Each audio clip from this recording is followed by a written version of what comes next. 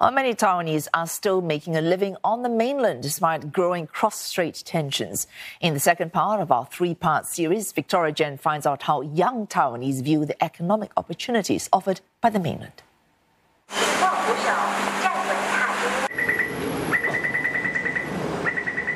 中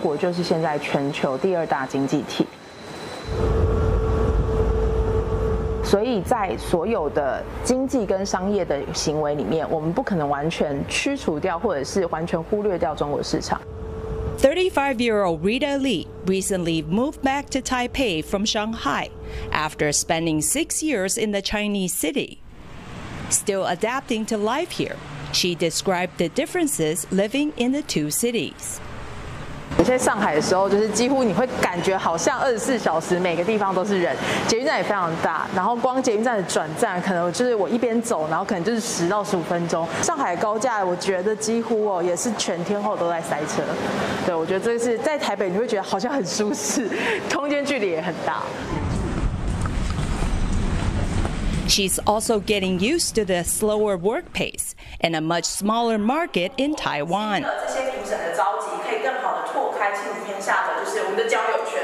对，因为台湾只有两千三百万人，但是光我要去的上海，其实本身的常住人口就已经有两千四百万。我要必须一次，我可能要面对的是几千万的，呃，应该说几千万人的这个维度，然后或者是一到六线不同城市，所以我必须要比别人多想后面的两百步，是因为那个市场迫使它必须要这么样的往前。然后，所以你会看到自己整体的那个氛围，所有人都在往上的时候，它会迫使你要一直这样上去。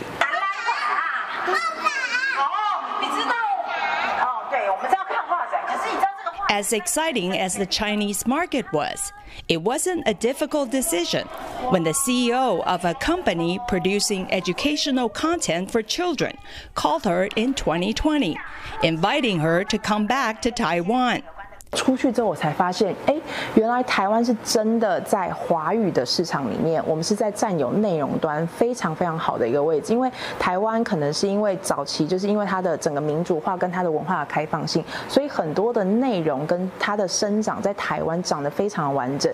呃，因为现在很多台湾的一些商业决策，包含政治的决策，很容易只是限于特殊两岸关系在做决策。但是我觉得台湾应该是市场的，呃，应该说应该是全世界的维度。那我觉得这个是我回来台湾，希望把台湾带出去的一个很重要的原因。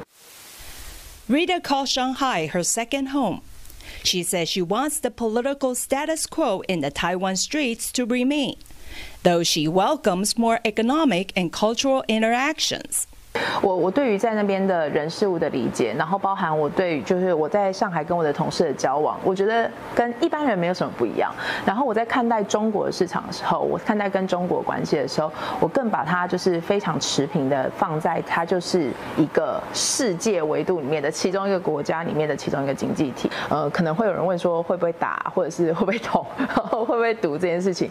我觉得至少我我我的 scope 可能没有到很远，但是我觉得至少在这十到十五年，我还在在业期间，我觉得它应该还是会维持一个很有趣的平衡。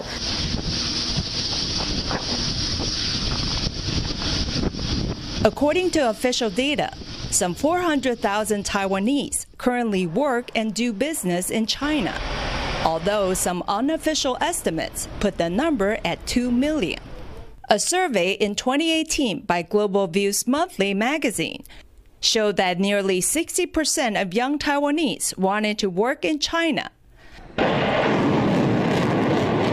But as cross strait tensions rise, the number fell by almost half in 2020.